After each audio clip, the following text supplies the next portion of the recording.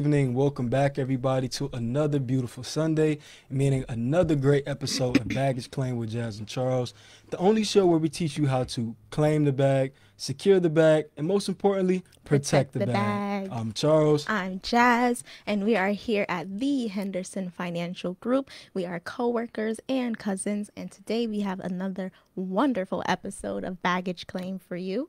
We're super excited about it. I'm not gonna lie, this is not that exciting. this one's not that exciting. It's about retirement accounts, Yeah, but we'll try, you know, keep you in the tank, keep Yes. you awake for this one, but uh, not too many people get excited about retirement accounts. No, they don't. They don't. But uh, it's necessary. Mm-hmm. It's information that we all need to know. And I feel like with retirement accounts, they get put on the back burner by Mm. us young folk Mm-hmm. because um, we are all about the now, the here and now, who wants to think about retirement. Mm-hmm. But if you think about it, um, it's really setting yourself up so that you don't have to work forever. That should be really interesting to everyone. I mean, it should, but there's so much interesting things going on. Like 2020, that I call it like the year of Robinhood, right? Hmm. So that's when so many people got introduced to the stock market. They got hmm. introduced to options, all type of trading and margin accounts. That's, true. so much more fun, and it's so much more validating to see quick returns than a retirement account. Because most people's retirement accounts have been in, you know, existence longer than we've been alive. Absolutely right. And those people who've had those retirement accounts that have been in existence for as long as we've been alive, I'm sure they are thanking their younger selves for uh, handling that early. You know, it's one of those investments where you can't be mad at yourself in the future. If you're young and you get a retirement account right now, your older self is going to thank you. And not only if you get one, but if you are really like, contributing to that account and you're really planning for your future. I mean, me, me, I'm not trying to work forever. I'm not trying to re- retire at like 60 something. I want to live a life of leisure. I'm gonna quit my day job the minute I Oh, okay. yes, uh, because like you know, this I feel like our generation is more so focused less on like work and career Mm. and um, fulfillment and making money. I think so too. And you know, a retirement account would help with that. But for some reason, we don't see it like that. Like when we see, we picture retirement accounts. I know a lot of people think, okay, Social Security, 60 something, 70 something. And there's nothing wrong with that. But I feel like, you know, with the internet and how things are now, there's a whole new way. There's a new way of doing things. You don't have to do it the same old way. And like you say, People could retire at 45, 50 years old if they do the right things now and set themselves up. I Yeah.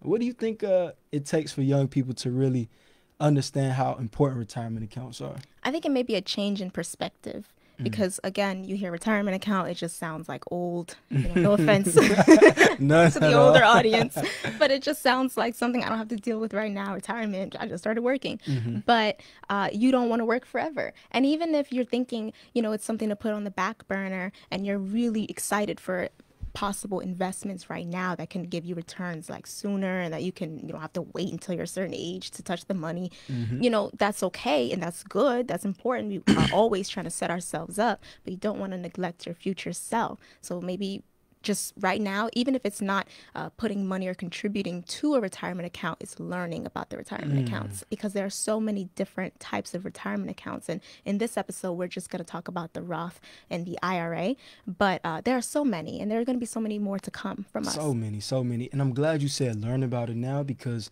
everybody I know who you know who's done something great, they put that into basically they put so much forethought into it. They put thought in before it actually came to that point. They mm-hmm. learned about it, you know, they grew, they were around it. And then once you see them at that point, you think, okay, this is where they are. Mm-hmm. But no, so much went into it before that. You mm-hmm. know, you won't just get financial independence by accident. That's something that you have to teach yourself about, learn about, and there's so much preparation that goes into it. And this is a great, great, great place to start. Yes, there. That that's so true. Wow, Charles, that was so wise of you. You're so wise today, this Sunday. Oh man. Wise every day.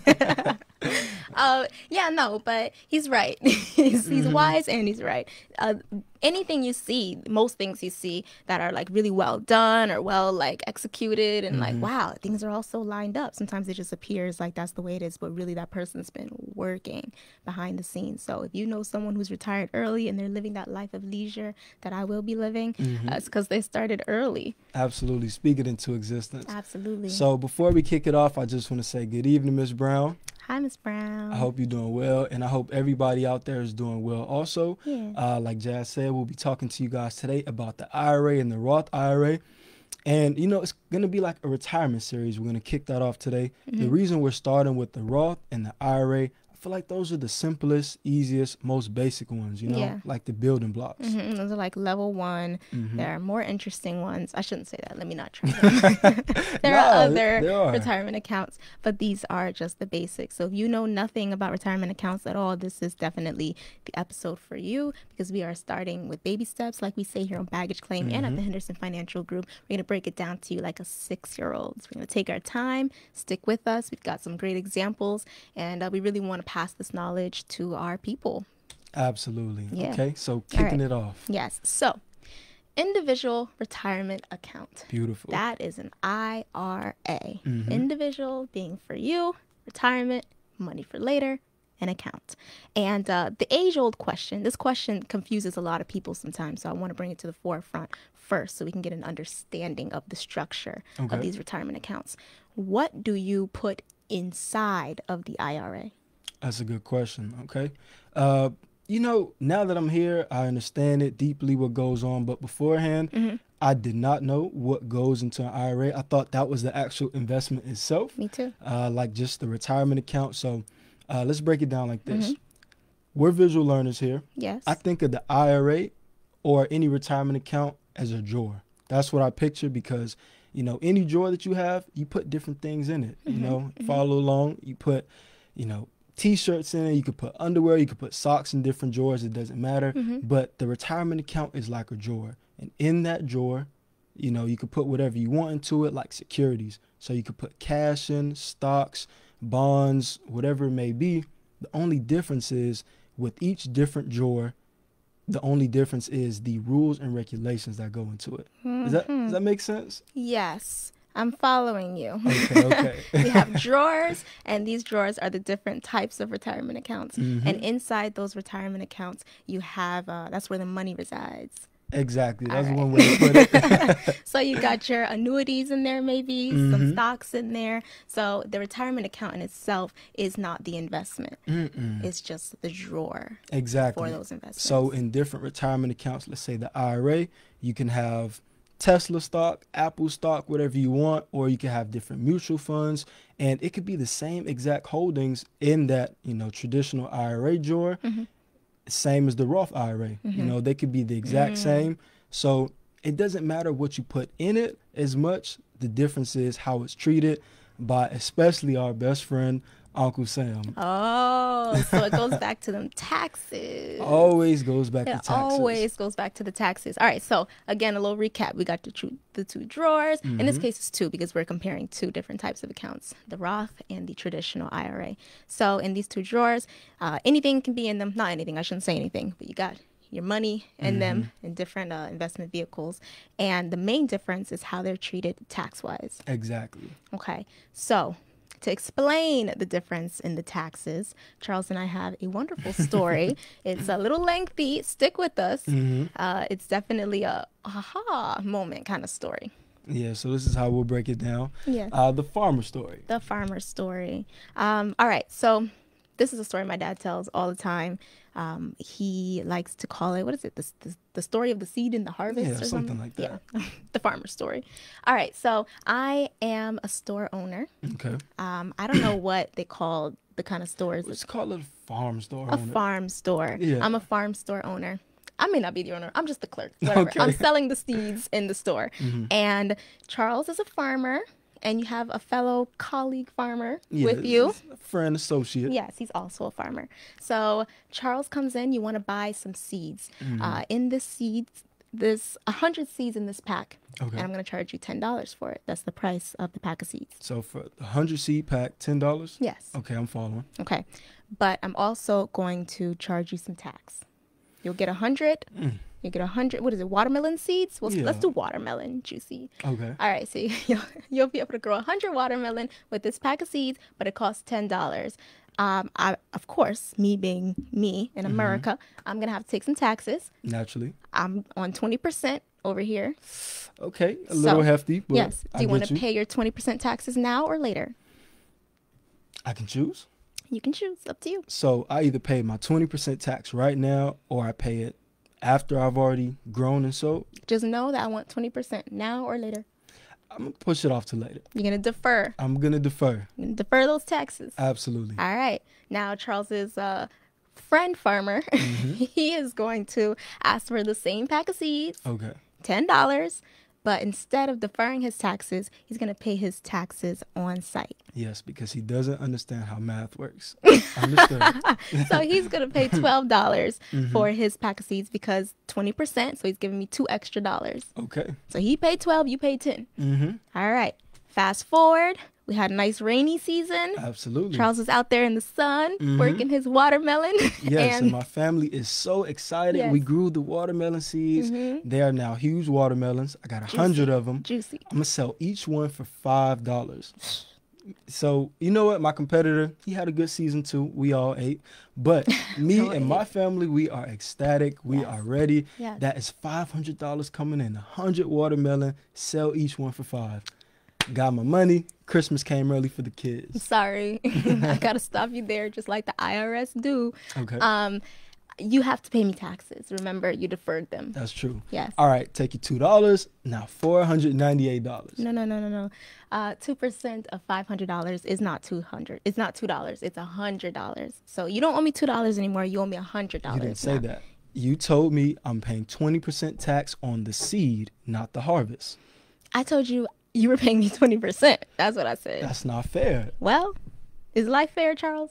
No, it's not. But you have to break that down. There are so many people who are thinking, you know, I don't have to pay taxes on the back end. That just doesn't seem fair. Mm. But I asked you if you wanted to pay your taxes now or you wanted to defer them. Just like I asked your uh, farmer colleague there, and he actually paid his taxes up front. So now he gets to walk away with his full five hundred. He don't owe me nothing. So he paid two dollars, and I'm Mm. gonna pay you one hundred dollars. Yes, because you deferred your taxes. You put it off. And that's just what happens. And Mm. Okay, because I wow. Mm-hmm. am Uncle Sam, I'm going to do what Uncle Sam do. I'm going to collect my money. That's theory, But unfortunately, that is how things work. That's the difference between the Roth and the traditional IRA. The traditional IRA, you're deferring taxes. So you're not paying, you know, your taxes up front on the seed, meaning every dollar you make. You put the money in your IRA, mm-hmm. you get your annuities, your stocks, your bonds, or just keep it in cash, whatever you want. Mm-hmm. And then towards the end, you're going to get hit with the taxes. Yeah, because when you paid, when your farmer colleague, I Mm-hmm. don't know why I keep saying that, when your farmer friend paid his taxes up front, he was paying that 20% on a smaller amount of money. So Mm. he, he- that's just $2 for him. But when you defer it, now you're paying taxes on that growth. Mm. So can you imagine the growth, especially if you're good at what you do and you're contrib- you're contributing to your Mm-hmm. account and you are you know your, your money's growing that's just more excitement for the irs because you deferred it and now i get to get taxes off a bigger lump sum of money It is, and so I feel like I kind of know the answer. My question would be, how many people do you think know the difference between the Roth and the IRA? The reason I ask is because you know we have clients come in all the time, and it's always a shocked look on their face when we tell them, "Oh no."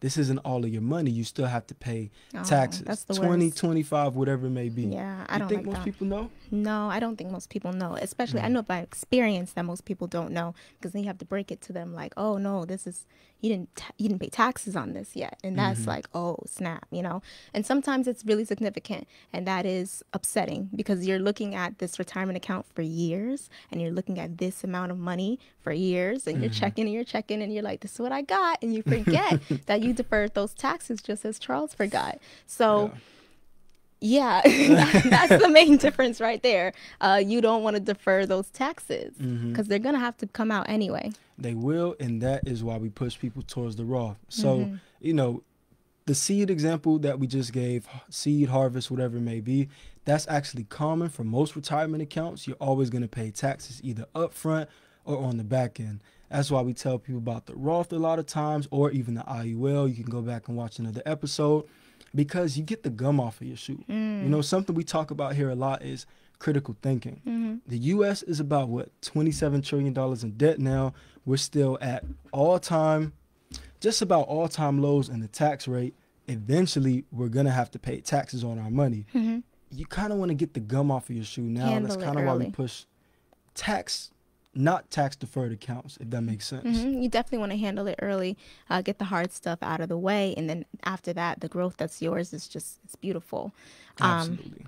yeah, and then so okay, that kind of explained the major difference between the two drawers or the two types of accounts. is how they're taxed, and then there are some other rules and regulations there. Um, are we going with IRA first or Roth? We could go with the Roth. Okay. We'll explain the Roth. So the Roth, you already know that is the one that's not tax deferred. You pay taxes up front. But, you know, some things other people don't know. This is actually your own account outside of your job. So you can kind of control what happens. Uh, you could put up to about $6,000 per year. Mhm. If you're over age 50, you can do something called catch up contributions where you're putting in $7,000 maximum per year. Mm-hmm. Does that make sense? Yeah, so there's a max on it. Mm-hmm. They're not letting you just dump all your money whenever you want. No, nah. Okay, so it's definitely regulated. Mm-hmm. And there are other accounts that are not so heavily regulated, Absolutely. but that's the Roth. Yeah, and so with the Roth also, uh, something most people don't know, you actually can't touch your money until age 59 and a half, Mm. or else you're going to be taxed on that money and you're going to have to pay a 10% distribution. Now, the way I always think of it is like a child. Mhm. It's like your parents telling you, you can take, you know, you could get your uh, cookies out the cookie jar, Mhm. but after 10 at night. Mm. That's the imagery I always get. Do you Mhm. see it? Yes, I see it. it just sounds like more control, more rules, more regulations. And so it's interesting because with the Roth, you have to, um, you paid your taxes early already, but then if you want to touch your money, they still going to try to get you. For the most part. too early. See, there's a loophole with the Roth that you Mhm. don't get with the IRA. Mhm. You know, you can put in your money and uh, you can't touch it until age 59 and a half unless you're taking out what you put in.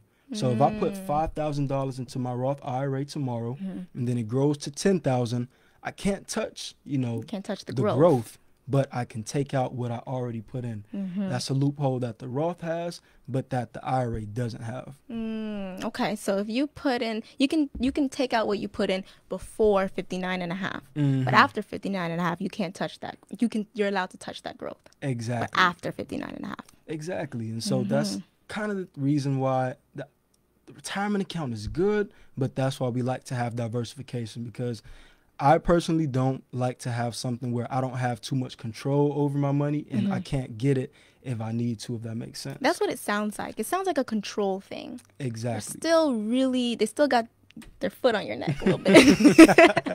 nah, think of it like this. They are doing it to protect people from themselves. They feel, Mm. you know, Americans don't really save. We want you to put your money away for retirement and don't touch it. Mhm. You know, we're going to penalize you if you do Mm-hmm. If not, I feel like most people would honestly dip into it. Yes, that is true. Mhm. I agree. People do like to dip into the accounts, and if it is for retirement, it's for retirement. I guess that's, that's what makes it a retirement account. Um, all right, that's that's interesting, right? That's the Roth. very, very fun. Yes. Retirement accounts. Yes, yes.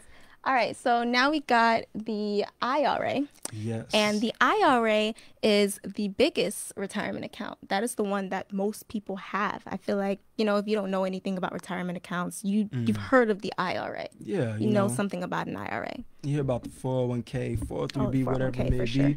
But the IRA, that is where the most money in America is held. Hmm. And because that's the one where, you know, most people actually don't have corporate accounts like the 401k, those type of retirement accounts. Most people have to do things themselves. Mm. That is where the IRA comes into play. That's where we can kind of have control. You know, you Mhm. do what you want to do. You can't touch it early, Mhm. but you can decide what goes into it. Because it's your individual retirement account. Exactly. Just like that drawer example. You could put your socks in, you could put your, you know, underclothes, you can put whatever you want. If you want to Mhm. put a raincoat or a jacket, you do what you need. That is your drawer, your retirement account. hmm So the traditional IRA, like the Roth IRA, you get penalized if you touch your money too early. Yes. So before age 59 and a half, you can't take your money out of the IRA. Mhm. Only difference is with the Roth, you know, you can take out what you put in with the IRA.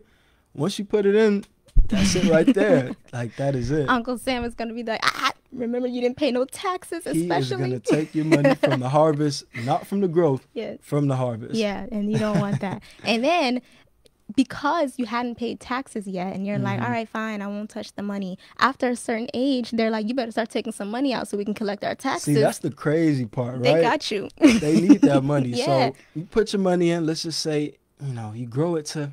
We speak prosperity here. Prosperity Age only. seventy, you grew it to five million dollars in your IRA. You balling. You got something to look forward to, but you know the tax is gonna hit you. hmm Yeah. You don't need the money right now, so you figure, you know what? I won't even touch it right now. hmm I don't need the money. I'm gonna just leave it right there. this to my children. Not my on Uncle Sam's kids. watch. Not No, no, on Uncle no, no. Sam's watch. He's like, you better start taking some of that money out so I can finally get my taxes because remember you deferred those taxes. So he never got paid.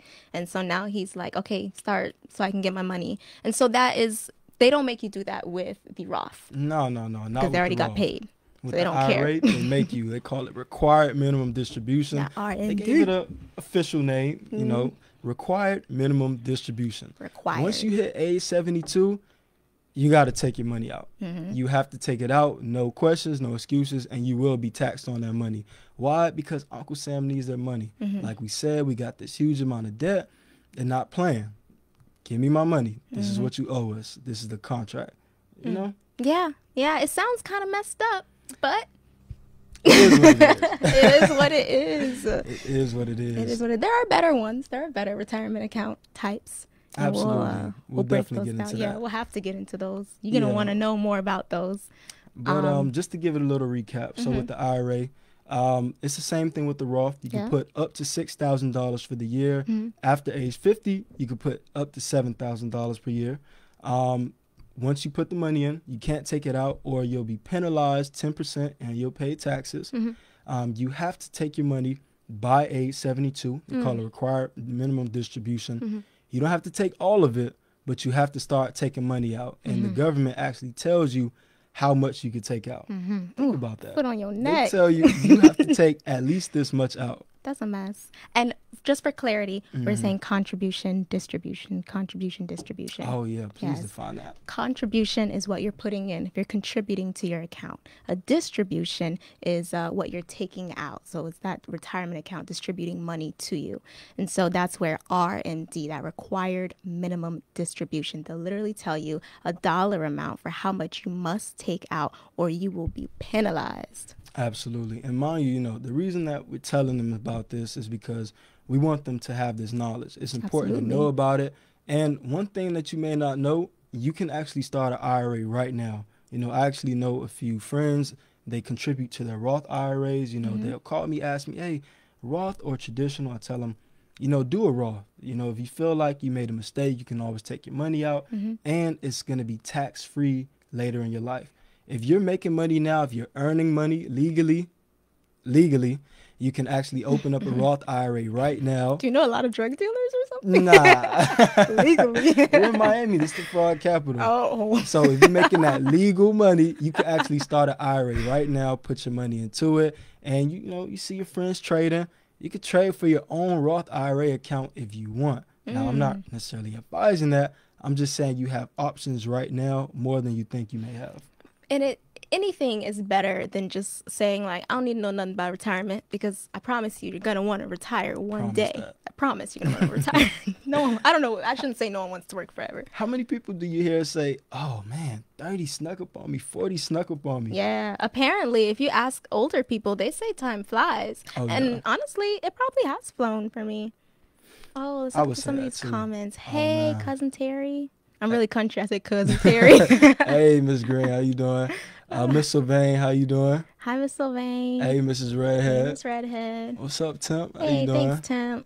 Auntie Becky, how you doing? Oh, my father. My father. Why is it important for a young person to start saving for retirement early? You want to take this one? Yes, uh, because Okay, okay. I'm gonna paint a little picture here. Oh. I see myself, hmm, probably like 45, traveling, Mm. yacht hopping, island hopping, and do you know who's not calling me? Who's that? My day job. You know what I'm Mm. saying? I'm retired. I'm chilling. I'm living a good life. I definitely have my investments working for me because you always want money working for you on the side. Absolutely. But I feel like we are stepping into an age now of uh, life is short.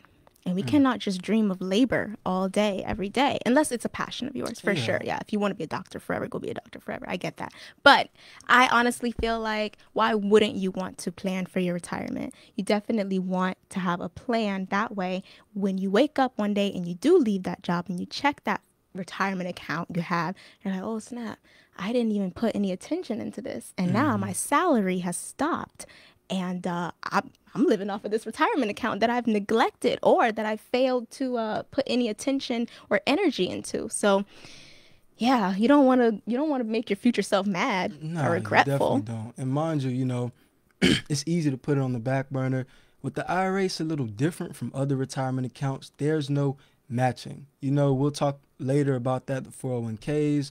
Sometimes people get matching, meaning their employers match their money. If you're putting in $500, they may put in $500 a month too. With the IRA, you don't get that individual retirement account. That's your money. Don't forget, you know, And you know, something you said, it makes sense. I feel like this should have been a main point. If you don't have the kind of job that's going to give you a 401k, it's your responsibility to plan for your retirement. And even if you've got the job that's going to give you that 401k, it's definitely something you still want to put some energy into. And uh, you want to get your knowledge up so you can check it out. Don't just leave it to the people to take care of you because no one's going to take care of you like you. Absolutely. And if you're getting extra money, you know, it's not always best to spend it. You want to think for the future. You want to reward your current self, but also reward your future self because you're going to mm-hmm. be happy in the future. Mm-hmm. Now, one thing I wanted to touch on you always talk about retiring early, 45, 50.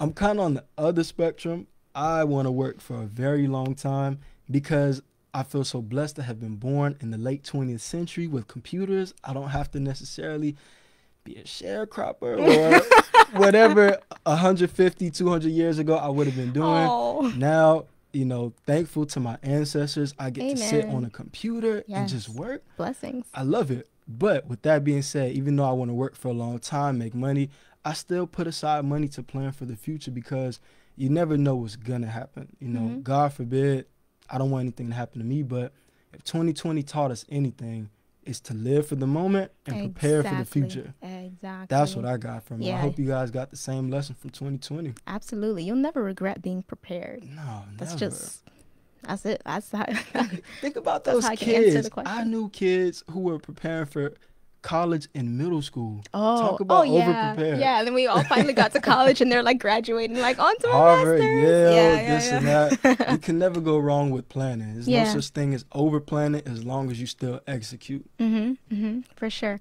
Um, what retirement accounts are we talking about next episode? Oh, we planned that? Yeah, I think we're talking about The the 401k, 401k. 403b, 457, uh, because we have a lot of teachers, Mm-hmm. corporate workers, Yeah. you know, even nonprofit workers, Mhm. and then of course with the 457, government workers. Mm-hmm. So we really want to give you all as much information as possible. It's retirement. Stay awake. You're gonna need it. It's important. Uh, Yeah. We just want to give out information. Yeah. So if you uh, if you fall into that category, let your family and friends know. Share this video. If you know you don't have you and your peers don't have the kind of jobs where you get those benefits or those retirement accounts automatically. Uh, it's left up to you.